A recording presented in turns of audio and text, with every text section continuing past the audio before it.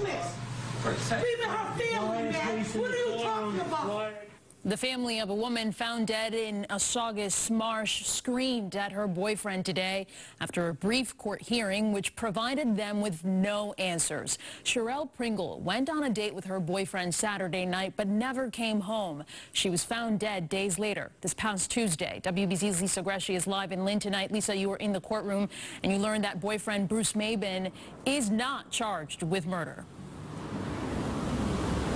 Anaridis, he is not facing that charge. And as for Sherell Pringle's family and friends, they showed up here to Lynn District Court in full force, and the tension in the courtroom wasn't just felt, it was heard. Quiet. Justice for Sherell Pringle.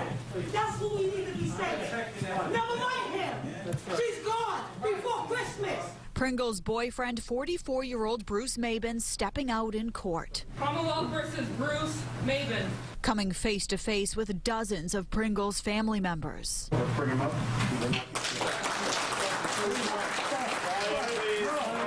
No, none of that.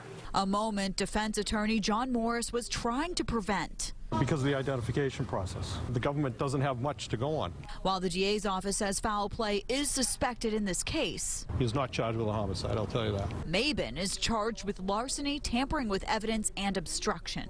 Y'all out here today, y'all should walking the At least a dozen police officers and detectives lined the courtroom walls. We found her.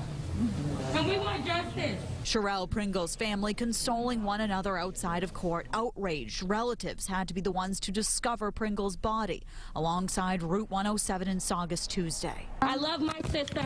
I miss my sister. and I want her back. But we found her. Not the we did. What we want to say is that we found her, not the police. As for Maiben, a man the family is convinced knows exactly what happened to Sherell. He did the wrong thing and is wrong. Before the holidays, if he did that to your family, wouldn't you want him to pay? He is innocent until proven guilty. He did not kill his girlfriend. He's denying that. Maiben is due back here in court on Tuesday for a dangerousness hearing. As for Sherell Pringle's death, that is still under investigation. Reporting live here in Lynn for now, Lisa Gresci, WBZ News.